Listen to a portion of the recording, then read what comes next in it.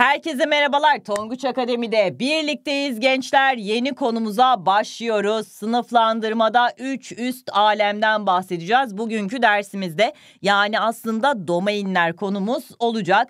Umarım bir önceki dersimizde verdiğim ödevleri yapmışsınızdır gençler. Ne yapacaktınız? Modern sınıflandırma ile ilgili soruları çözmüş olacaktınız. Bugün de üst 3 alem testlerini çözmenizi istiyorum. Yani sayfa 36'dan başlıyorsunuz. 37 de dahil olarak çözüyorsunuz. Arkasından kitabımızda açık uçlu sorular var demiştim. Sınıflandırma kuralları, modern sınıflandırma ve 3 üst alemi kapsayan açık uçlu soruları da mutlaka çözüyorsunuz. Gençler sayfa 39'a kadar çözmediğiniz hiçbir şey kalmasın. Dinamo Plus'tan Dinamo Plus da %100 marif modeline uyumlu bir şekilde hazırlandı. Unutmayın. Hemen başlıyorum. Hazırsanız yaslanın arkanıza.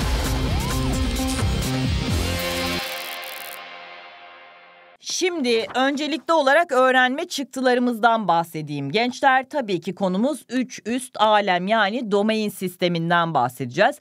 Bu sistemde yer alan canlıların özellikleriyle ilgili belli başlı çıkarımlar yapabilmemiz sağlamış olacağız. Aynı zamanda bu canlıların özellikleriyle ilgili bilgilerden hareketlerle bazı varsayımlarda bulunabileceğiz ve bu canlılarla ilgili örüntülerde kurabileceğiz diyeyim. Anahtar kelimelerimiz ise domain, prokaryot, ökaryot, protistler, bitkiler, mantarlar, hayvanlar, bakteriler, arkeler olacak. Tabii ki artık bundan sonraki konularımızda burada gösterdiğim anahtar kavramları, anahtar kelimeleri sık sık duyacaksınız. Unutmayın. Konumuza nasıl başlayalım? Tabii ki modern sınıflandırmayı anlatmıştım. Üç üst alemi yani domain sistemini de anlatacağım. Ama sınıflandırmanın temeli çok eski yıllara dayanıyor. Hatta önemli bir bilim insanından da bahsedelim. İbn Sina konumuz olsun. Tabii ki İbn Sina yaptığı çalışmalarla bilim dünyasına çok büyük katkılar sağlamıştır. Bizim konumuzla ilgili olan kısmı bitki ve hayvanları sınıflandırma üzerine yaptığı çalışmalar. İbn Sina Kitab-ı Şifa adlı eserinde bitkileri ve hayvanları sınıflandırılması üzerine kapsamlı bilgiler e, yazıyor ve bilim dünyasına çok büyük bir önder lider oluyor gençler. İbn Sina İslam dünyasının önde gelen bilim insanlarından biri. Sadece tıp, biyoloji değil, felsefe, matematik, astronomi, kimya, coğrafya gibi alanlarda da önemli çalışmalar yapmış bir bilim insanıdır. Geleyim bugünkü kullandığımız sınıflandırma oluşmadan önce sınıflandırma ile ilgili neler yapılmıştı? Şimdi morfolojik ve ekolojik sınıflandırmaya bakalım. Canlılar ilk başta morfolojik ve ekolojik özelliklerine göre bitkiler ve hayvanlar olarak sınıflandırılıyor. Şimdi bizim biliyoruz ki çok fazla çeşitte gözle görülemeyen canlı var dünya üzerinde. Eskiden mikroskoplar yokken gö gözle görülemeyen canlıların belirlenmesi mümkün değil. O yüzden daha büyük yapılı, tanınabilen canlıları sınıflandırmışlar. Eski sınıflandırmada da canlıları bitkiler ve hayvanlar olmak üzere ikiye ayırmışlar. Daha sonra bu sınıflandırmayı geliştirmeye başlamışlar. Bitkiler, hayvanlar, mikroskobik canlılar. Sonra mikroskobik canlıların da hepsinin aynı özelliğe sahip olmadığını, birbirinden çok farklı özelliklere sahip olduklarını görmüşler. Yani yeni yeni e, buluşlarla sınıflandırma bilimi gün geçtikçe değişmiş ve gelişmiş. Günümüzdeki modern sınıflandırmayı vereceğim. Altı tane aleme ayırıyoruz canlıları ama teknoloji gelişmeye devam ediyor. Dünya üzerinde yeni canlılar keşfedilmeye devam ediliyor.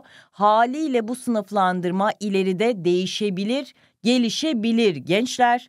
Canlıları tabii ki bitkiler ve hayvanlar olarak sınıflandırmak yetersiz. Dünyada çok fazla canlı çeşitliliği var. Bu sınıflandırmada da bazı kurallar belirlenmiş. Daha çok genetik özelliklere bakarak sınıflandırma günümüzde yapılıyor gençler. Biyoçeşitliliğin korunması ve ekolojik denge dediğimiz zamanda canlı türlerin sayısının azalması veya yok olması tabii ki ekolojik dengeyi tehdit ediyor. Çeşitliliğin de korunabilmesi için canlıların tabii ki çok doğru bir şekilde tanımlanması ve sınıflandırılması lazım. Sen etrafındaki canlıları tanımazsan, sınıflandıramazsan, onların hangi özelliklere sahip olduğunu bilmezsen koruyabilmen mümkün olabilir mi? Tabii ki hayır. Günümüzde keşfedilmiş milyonlarca canlı türü varken keşfedilmemiş canlı sayısının daha fazla olduğu düşünülüyor gençler. Bu da dünyanın çok büyük bir canlı çeşitliliğine sahip olduğu anlamına gelir. Keşfedilmemiş organizmalar da ekosistemlerin sürdürülebilirliği için tabii ki önemlidir diyeyim.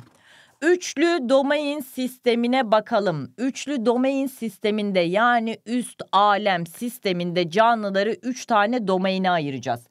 Birincisi bakteriler domaini dediğimiz üst alem olacak. İkincisi arkeler dediğimiz üst alem olacak. Üçüncüsü ise ökaryotlar dediğimiz üst alem olacak. Bu sistem organizmalar arasındaki genetik ve yapısal farklılıklar dikkate alınarak yapılmıştır gençler. Bakteri ve arkelere baktığımız zaman burada bulunan alemler de aynı isimle anılıyor. Bunlar prokaryot hücre yapısına sahip canlılar olacak. Ökaryotlar ise zaten ökaryot hücre tipi dediğimiz bir hücre tipi var. Çekirdeği ve zarlı organelleri olan bir hücre tipi var. Tabii ki bu grupta yer alan canlıların zarları, organelleri bulunacak. Üçlü domain sisteminde yer alan canlılar ortak özelliklerinin yanı sıra birbirinden tabii ki çok farklı özellikler taşır diyeyim. Buradan da hemen size bir tablo yapmak istiyorum gençler. Şimdi bizim ne demiştim? Türkiye Cumhuriyeti A takımı sert şut atar. En üst basamağımız alemde. Aleminde nesi varmış? Bir tık üstü varmış. Üst alem dediğimiz, domain dediğimiz kısımlar varmış. Canlıları üç tane üst aleme ayıracağız. Bu üst alemler neler olacak? Bakteriler domaini dediğimiz bir domain var. Hemen yazayım bakteriler domaini. Burayı biraz karıştırdığınızı bildiğim için tablo yapmak istedim. Sonra arkeler domaini denilen bir domain yani üst alem var. Bir de ökaryotlar dediğimiz domain var gençler. Sonra bu domainlerin altında da neler bulunacak? Alemler bulunacak. Bakteriler domaini ile altında bulunan alemin adı aynı. Yani burası bakteriler alemi olarak geçecek. Keza aynı şey arkeler içinde geçerli. Arkeler domaininin altında arkeler alemi dediğimiz alem yer alıyor. Baktığımda ökaryotlarda ise arkeler aleminden sonra gelenler yani protista alemi dediğimiz bir alem yer alıyor.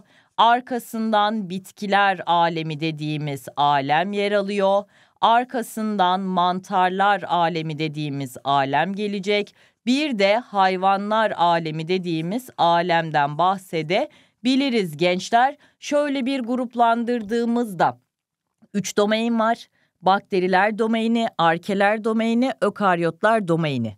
Bakteriler alemi bakteriler domaininde, arkeler alemi arkeler domaininde, protista bitki, mantar ve hayvanlar ise ökaryotlar domaininde oluyor.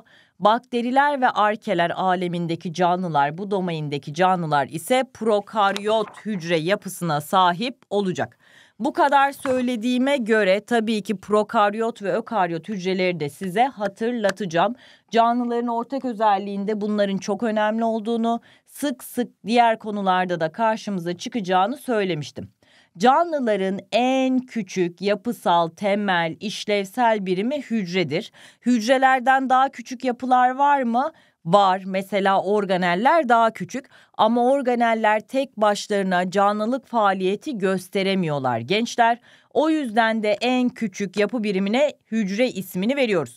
Yapısına göre hücreler dediğimiz zaman kendi içinde prokaryotlar ve ökaryotlar olmak üzere ikiye ayıracağız. Prokaryot hücre yapısına sahip canlılara baktığımız zaman DNA'ları vardı. Çift zincirli halkasal yapıya sahipti. Ökaryotların DNA'sı ise çift zincirli iki ucu birbirine birleşik değildi. Sonra ikisinde ortak olarak diğer nükleik asit yani RNA dediğimiz molekül de bulunuyordu gençler. Hemen şöyle DNA'yı da şuradan yazmış olayım. Ribozom organeli dediğimiz organelde hem prokaryotlarda hem de ökaryotlarda bulunuyordu. Ökaryotlarda DNA'nın etrafı bir zarla çevrili yani bunlar çekirdekli hücre dediğimiz hücrelerdi. Endoplazmik retikulum gibi, Golgi gibi, koful gibi zarlı organeller ökaryotlarda bulunabilirken prokaryotlarda hiç zarlı bir şey bulunmayacak. Ribozom protein sentezinin gerçekleştiği yapıdır. Zarsız bir özelliğe sahiptir diyeyim. Bakteriler ve arkeler prokaryot, protista, bitki, mantar ve hayvanlar alemindeki canlılar ise ökaryot hücre yapısına sahiptir dedik. Buradan da tabii ki konumuzla ilgili birkaç tane soru çözelim gençler. Aşağıdaki özelliklerden hangisi prokaryot ve ökaryot hücreleri ayırt etmek için kullanılır? Şimdi prokaryotla ökaryotlara baktığımız zaman ikisinde de DNA'nın ortak olduğunu, çift zincirli olduğunu söyledik. RNA da ikisinde ortaktı. Ribozom da tabii ki ikisinde ortak olarak bulunuyor. Hücre zarı ve sitoplazmada prokaryot, ökaryotlarda ortak. Ökaryotlarda DNA'nın etrafı bir zarla çevrili yani çekirdekli diyorduk. Endoplazmik retikulum gibi, Golgi gibi, koful gibi, lizozom gibi zarlı organeller ökaryotlarda varken prokaryotlarda yoktu. Kromozom sayısı prokaryot ve ökaryotları ayırt etmekte kullanılan bir kriter değil. Prokaryotların kromozom sayısı şu kadardır, azdır, ökaryotlarda fazladır gibi bir şey yok. Yani bu bir parametre değil. Hücre duvarı yapısına baktığımız zaman doğrudan kullandığımız bir kriter değil gençler. Hücre duvarı olması da bir kriter değil. Orada bulunan yapı da doğrudan prokaryot ve ökaryotu ayırtmakta kullandığımız bir kriter değil. Çekirdek zarının varlığı bak bu çok önemli. Zarlı bir şey prokaryotlarda yok. Ökaryotlarda çekirdek oluşması demek zaten DNA'nın etrafının bir zarla çevrilmesi anlamına geliyor. Tabii ki çekirdek zarının varlığını alacağım. Ribozom sayısı prokaryotta 5, ökaryotta 15 öyle bir şey yok. Metabolik özelliklerde yine doğrudan ayırt edici bir kriter değildir diyeyim gençler. Hemen buradan da başka bir soruya geçiş yapayım. Aşağıdaki canlılardan hangisi prokaryot hücre yapısına sahiptir? Prokaryot hücre yapısına sahip canlıları düşündüğümüz zaman bakterilerden ve arkelerden bahsediyorduk. O zaman seçeneklerde ya bakteri olacak ya da arke olacak. Bakterinin de C şıkkında olduğunu gördüm. O yüzden de cevabımız C seçeneği oldu. Hemen buradan toparlayalım gençler. Prokaryot hücre yapısına sahip bakteriler ve arkeler birbirlerinden ayırt edilebiliyor. Eskiden arkeleri bakterilerin altında sınıflandırıyorlardı. Arkeler sanki bir çeşit bakteriymiş gibi davranıyorlardı ama yapılan çalışmalar arkelerin bakterilerden çok daha farklı özelliklere sahip olduğunu gösterdi. Bir kere hücre duvarlarının içeriklerinde bulunan proteinler birbirinden farklı. Yani bakterilerde de arkelerde de hücre duvarı olabiliyor ama bulunan hücre duvarındaki proteinlerin yapısı farklı. Bunların karbonhidrat grupları farklı, ribozomlarındaki RNA dizileri birbirinden farklı. O zaman dediler ki arkeler çok da bakterilere benzemiyor. Bakterilerin bir alt grubu olarak sınıflandırmamalıyız. Biz bunun için bir alem açmalıyız dediler. Ökaryotlar ise genel olarak kromozomlarının yapısında histon proteini denilen protein bulunduruyorlar. Bu proteinleri taşıma yolları nedeniyle de bakterilerden ayırt edilmiş oluyorlar. Bakterilere baktığımız zaman ya da bizim bakteriler arkeler domainindeki canlılara, prokaryot canlılara baktığımız zaman değişen çevre koşullarına uyum sağlama yetenekleriyle bilinen prokaryotik canlılar tek hücreliler çok hızlı çoğalıp koloni oluşturabiliyorlar. Çoğunluğu suyun akışı, havanın hareketi gibi çevresel koşulların etkisiyle hareket edebiliyor. Ama bazılarında kamçı dediğimiz aktif yer değiştirme hareketini yapmayı sağlayan uzantılar da var. Prokaryotik canlılarda da çok farklı farklı beslenme çeşitleri görülebiliyor. Mesela kendi besinini kendi sentezleyen ototrof beslenme özelliğine sahip prokaryotlar da var. Besinini doğadan hazır olarak alan e, prokaryot canlılarımız yani heterotrof beslenme özelliğine sahip canlılarımız da var gençler. Hemen bir tane daha soruya bakalım. İbn Sina Kitabü Şifa adlı eserinde canlıları nasıl sınıflandırılmıştır? Şimdi o zamanlar eski dönemlerden bahsediyoruz. Mikroskoplar, teknoloji bu kadar gelişmiş durumda değil. Genetik özelliklerine göre sınıflandırmaları mümkün değil. Yaşam alanlarına göre de değil. Hücre yapısı zaten bilinmiyor. Metabolik özelliklerinde henüz tam anlamıyla çözümlendiği dönemlerden bahsetmiyoruz. İbn Sina Kitab-ı Şifa adlı eserinde canlıların morfolojik ve ekolojik özelliklerine göre bitkiler ve hayvanların gruplandırmasını gerçekleştirmiştir diyeyim. Bir tane daha soru çözeyim. Üçlü domain sistemi hakkında aşağıdakilerden hangisi doğrudur diyor. Bakteriler ve arkeler aynı domain içinde yer alır. Hayır zaten üç tane domain var. Bakteriler, arkeler ve ökaryotlar. Bakteriler domaininde bakteriler alemi, arkeler domaininde arkeler alemi yer alıyor. Hangisi doğrudur demiş bu yanlış. Ökaryotlar sadece bitkilerden oluşur. Hadi oradan. Protistler, bitkiler, mantarlar, hayvanlar ökaryotlar domaininde yer alacak. Arkeler ve bakteriler prokaryot hücre yapısına sahiptir denmiş. Bu tabii ki doğruydu. Üçlü domain sistemi canlıları yalnızca sınıflandırmak için kullanılır. Ekolojik işlevleri göz ardı edilir diyor. Yalnızca dediği için kullanamayacağız gençler. Tabii ki sınıflandırmak için e, kullanıyoruz ama ekolojik özellikleri, işlevleri de göz ardı etmiyoruz.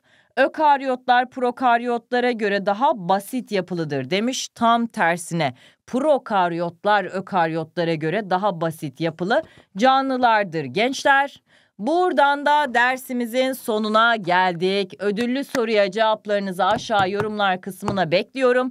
Videoyu beğenmeyi unutmayın. Bir sonraki dersimizde görüşmek üzere.